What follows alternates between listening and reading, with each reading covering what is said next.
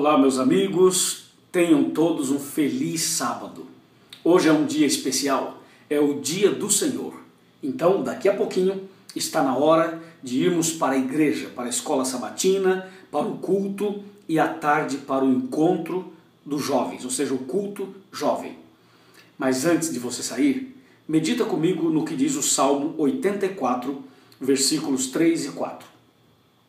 O pardal encontrou casa e a andorinha ninho para si, onde acolha os seus filhotes.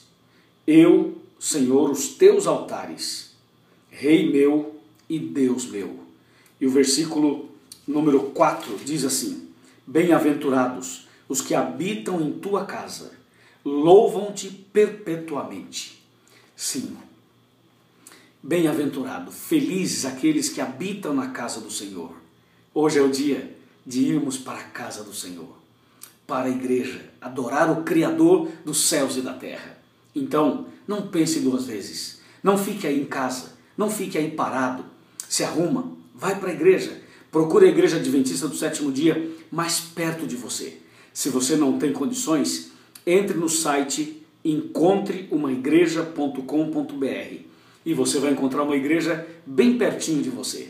Esteja lá, adore a Deus, participe do culto, participe da escola sabatina e seja bem-aventurado, porque aqueles que frequentam a casa do Senhor são pessoas mais felizes. Que Deus te dê um sábado lindo, um sábado cheio de bênçãos para você, para sua família e para sua casa. É o meu desejo em nome de Jesus. Amém.